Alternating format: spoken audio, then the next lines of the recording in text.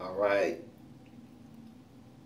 So, this video right here is about women.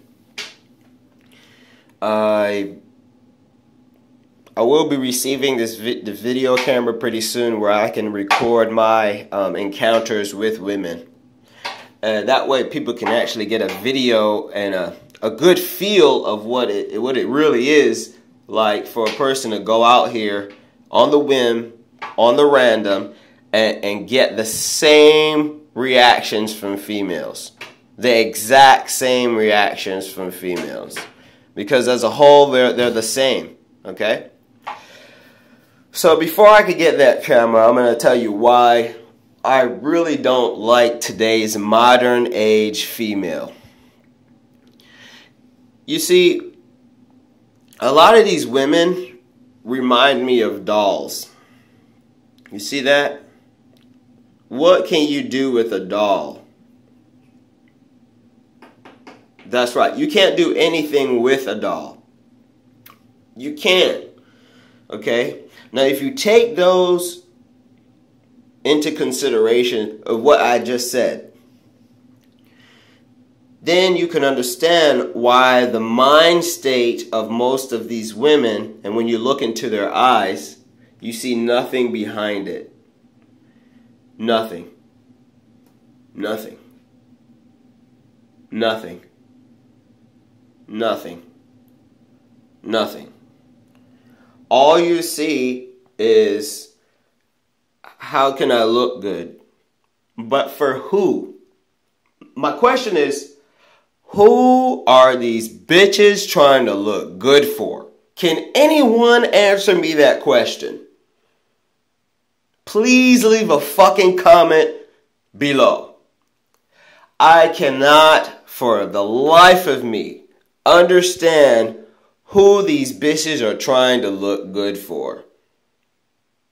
Because when you approach most of these bitches, all right, these hot looking bitches who try to portray themselves as the average looking woman, especially women like this, light skinned, got your hair in a bundle and shit, you got the cross on your neck, as if you actually do care about Jesus. But as Dave Carell clearly stated, they don't care about that Jesus character. They just care that he's a white man. All right? Most of these Christian women, they don't give a fuck about Jesus' name or what he stood for because they don't follow any of his principles. Now, moving on. I've seen a lot of sisters at the store trying to rock this type of look.